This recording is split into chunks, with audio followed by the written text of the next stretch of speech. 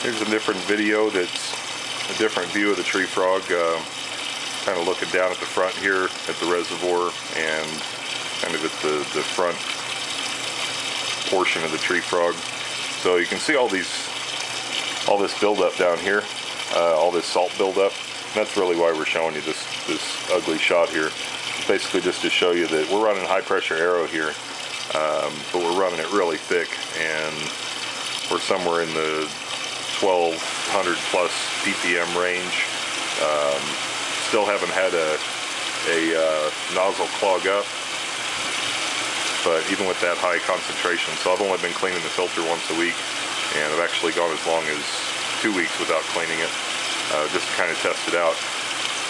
So yeah, check out how dark that water is. Look at all that salt buildup, and you can kind of see up in here, there's the uh, in the brain. You can see the tip of my finger there. That's part of the water that's circulating, keeping the brain full up here. And you can see all the bubbles.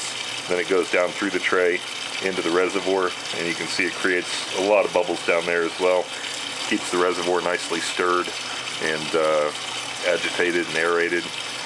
So even without having an aeration pump in there, we're actually getting a super aerated reservoir. And on high pressure aeroponics or recirculating deep water culture, or ebb and flow. Basically, whatever method you're using, aeration is key, and you really need to maintain that aeration in order to have a healthy reservoir and a good beneficial biologicals population. Um, so, yeah, you can tell our, our reservoir is pretty thick. I've actually got a second reservoir on here right now. I'll just kind of zoom over here pan over here and show you, uh, just so you can appreciate how dark, how dark this is. And uh, so yeah, I'm running about 60 gallons of, of uh, reservoir action here right now, and that just gives me a little bit more freedom. I can feel like I don't have to be here every single day to top off the reservoir.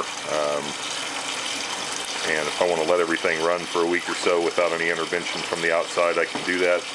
And this, uh, this is kind of our test bed here for the TreeFrog. So yeah, be sure and check out some of our other videos here on YouTube and be sure and go to our website at multiponics.com and feel free to leave us a comment. We always love contact.